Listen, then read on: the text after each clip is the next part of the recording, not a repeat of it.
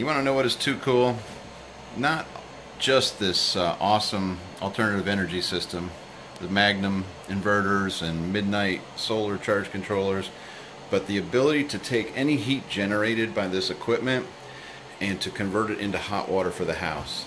Oh, and there's Johnny over there. Why is he over there? He's over there because he's at the exhaust port of this GE Geospring and it is nice cold air.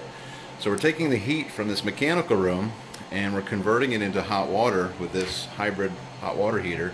We're also running that compressor off of solar at about 700 amps, sorry, 700 watts an hour. So it's making hot water using waste heat from the system.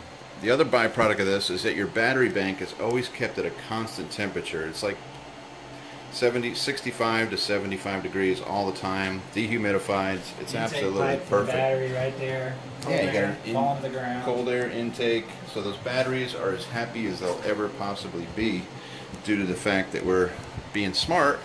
So this to me is the wave of the future. Not necessarily this this model, but being able to use uh, heat pump technology to make hot water, or just using solar direct. So there's no plumbing issues with a traditional solar hot water heating system. I really like this. So they're off grid. They're making plenty of hot water. I think we have it set on 130 degrees. So they are they are in business. Yeah, we're going to run that back in heat pump mode. So in heat pump mode, it's very efficient. So this is just too cool. Way too cool.